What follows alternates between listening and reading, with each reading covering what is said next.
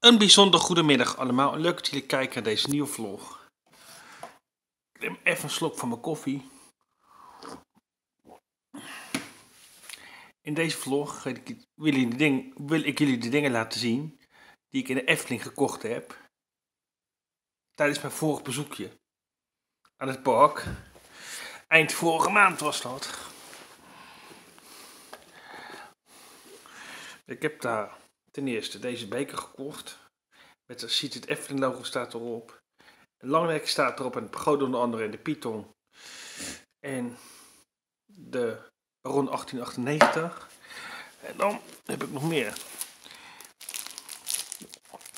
Ik heb dit notitieboekje gekocht. Er staat ook het Efteling logo op. En er staan ook van alles op. Dezelfde dingen die op die mok staan heb ik. En dan is dat nog niet alles. Want ik heb ook deze I Love Efteling pet gekocht. Even kijken of daar nou nog meer in zit. Of was dat het?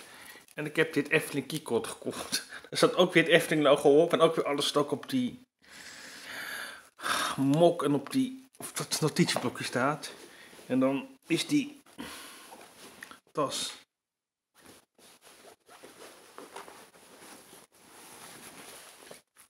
Nu is die tas verder leeg, heb ik ook deze tas gekocht. Met langnek erop.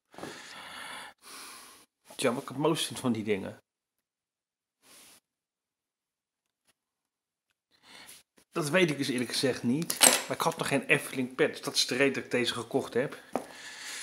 Heb tijdens mijn volgende bezoekje weer dingen gekopen. Eerlijk, ik denk het wel, maar ik weet alleen nog niet wat.